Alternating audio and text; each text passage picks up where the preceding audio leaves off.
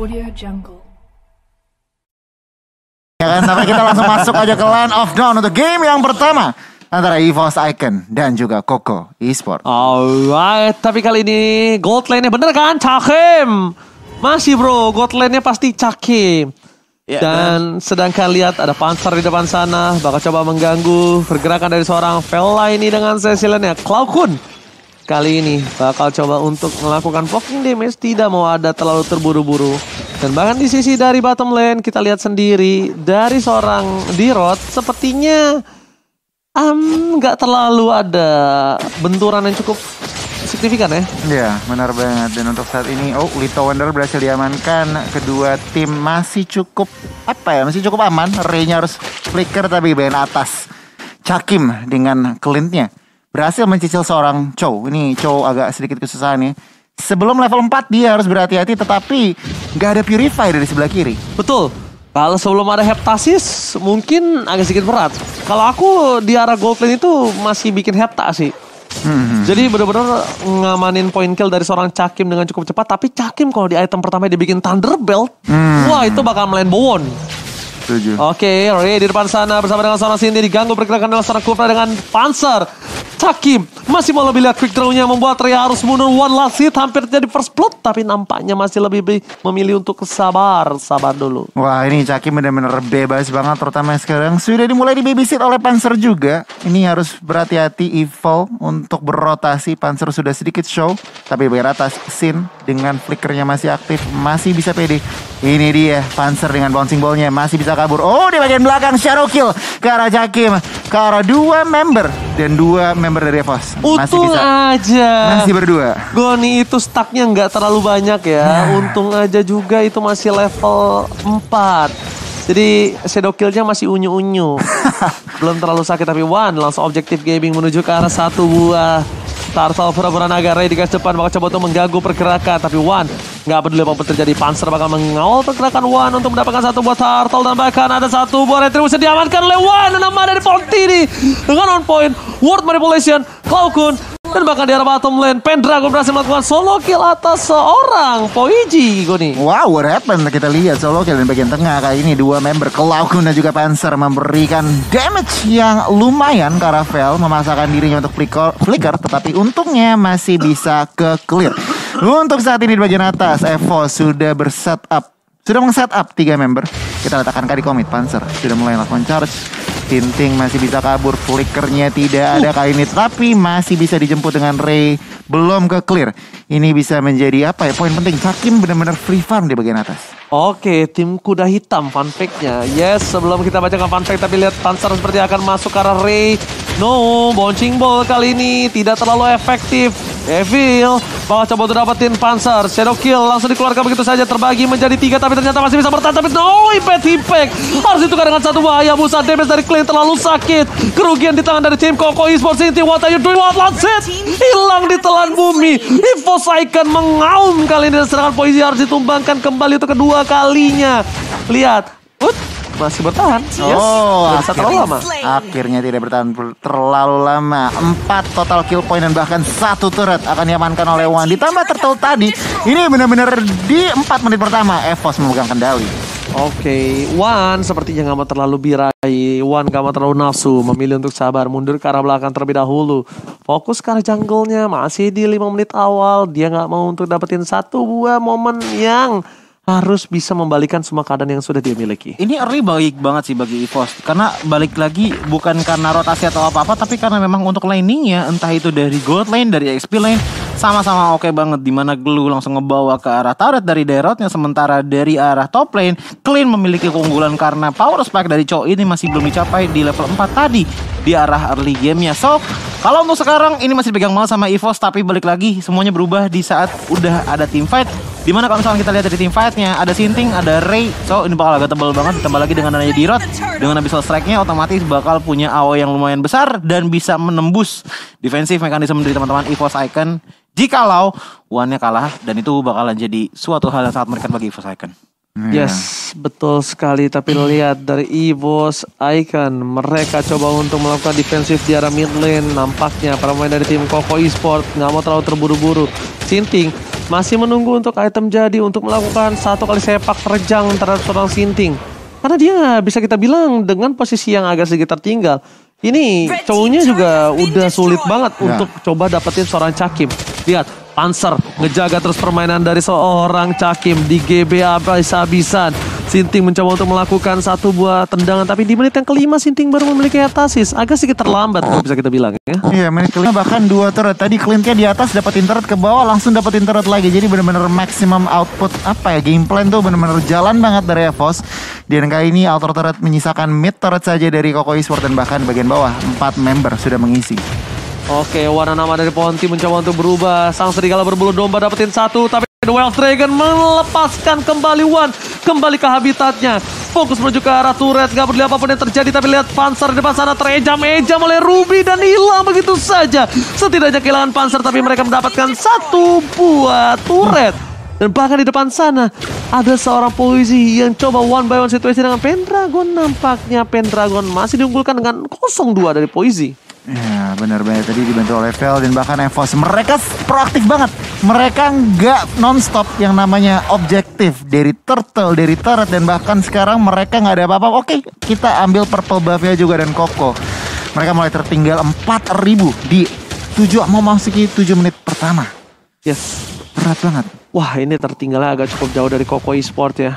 Tapi lihat Turtle lagi-lagi sudah muncul. Pendragon is coming menjadi split-split. Kali ini Pendragon menyelamatkan diri jiwa dan raganya atas gengki yang dilakukan dari tim Koko Esport Goni.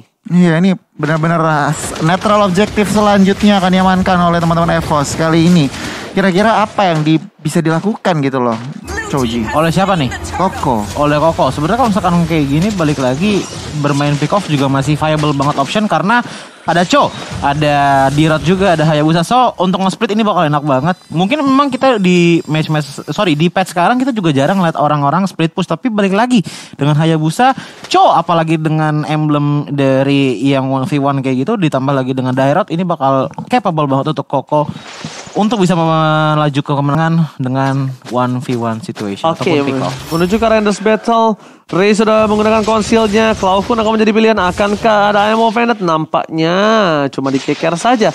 Sedangkan dari seorang Sinting, Blade of Heptasis sudah dapatkan tapi masih menuju ke arah Blade of Despair. Uh, goldnya Berat banget ya jauh juga ya dengan Lagi. seorang One ya. Tapi ternyata Panzer didapatkan di sana. Lihat Polster yang akan coba ditumpangin. World Manipulation menghantam seorang Ray tak bisa pergi dari dunia yang termanipulasi. Bahkan Purple Buff lagi-lagi diamanin oleh seorang One. Panzer ngeker ke seorang Sinting. Damage telah diberikan Duel of Dragon tapi One last hit. One dengan peluru karetnya berhasil menemukan Sinting di arah jungle Goni. Ya nih dengan lagi dan lagi potensi pick show-nya tidak terjalankan ya Pokoknya potensi pick off-nya dan bahkan under banget Dia langsung pick ke arah BOD secara terpaksa nih Sedikit susah banget Jadi ada sedikit fun fact nih. Ya apa tuh Goni? Kombinasi roster Ovos akan sangat menarik untuk disaksikan karena Evos membawa Romer dan juga Jungler menjanjikan oke di bagian atas di sini Shadow Kill secara terpaksa empat member sudah mulai ngisi oh masih bisa cover dengan quad Shadow-nya sedikit outplay tapi bagian mid side di sini One berusaha mendefend mid turretnya dan belum dikomit oleh teman-teman Koko Esport Oke, One. Kali ini bakal ke arah Purple Buff sebelum dia menuju ke arah Lord yang terhormat. Sedangkan di Rod di arah bottom lane agak sedikit kesulitan untuk mendapatkan satu buah turret. Sinting di depan sana. Ingat Sinting dengan full damage kali ini harusnya lebih lembek dan lebih lembut lagi ketika melawan seorang CKIM atau Cakim. Sinting terlihat dengan cukup jelas. Lihat, bakal coba diganggu pergerakannya oleh Panzer. Dan bersama dengan seorang Cakim 2F Dragon telah keluar dengan cukup baik. Tapi ternyata di cancel dengan adanya satu buah bocing ball yang baik. Cakim berhasil mendapatkan Sinting di arah top lane yang nampaknya ini akan menjadi Lord yang free untuk tim EVOS Icon jikalau mereka mau. Jikalau mereka mau Dan kalau ngeliat dari ekonomi bisa banget perbedaan 6000 Ray membuka visi, membuka badan juga Pendragon mengusir mundur Tapi lihat Hayabusa sudah berada di samping kali ini langsung berusaha mencari celah ditutup begitu saja dan Lord yang belum di enhance tampaknya akan diamankan cukup nyaman oleh teman-teman Evos Icon Wah ini sih Cakimnya udah kaya raya ya. udah BOD pasti udah jadi Wah ini Cakimnya aja tadi nembakin dari Sinting aja udah berbet berbet berbet berbet. Perpau. Wow, udah hilang. Sinting tadi 2F Dragon tuh nggak langsung damage-nya full ya. nah gila ya gila ya. Nah, ini kita lihat di mana head to head veteran versus rookie ya. Pendragon yang udah lama banget berkecimpung tapi sebelumnya kita bakal lihat team fight di arah tengah tapi dahulu. Board manipulation nggak bisa ditahan dan bahkan Poisi still survive. Wan masih mau lebih. Lihat dipancing begitu saja Panzer bahkan harus menggunakan flicker untuk mendapatkan Poisi di depan sana.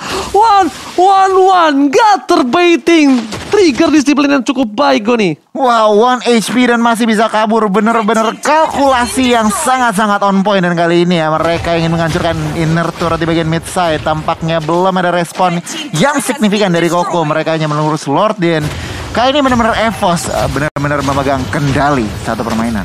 Wow Goni What happened Goni Lihat perbandingan goldnya terlalu jauh Goni Iya nih kalau ngeliat dari ekonominya jauh banget. Bahkan nih kalau ngelihat ya Choji ya. Iya. Kalau mereka tetap disiplin, Koko Esport susah banget ngembaliin keadaan. Eh sebenarnya betul susah tapi nggak menutup kemungkinan masih bisa mengembalikan keadaan karena gini dari tadi yang menjadi damager utama dari EVOS adalah Cakim dan juga Wan.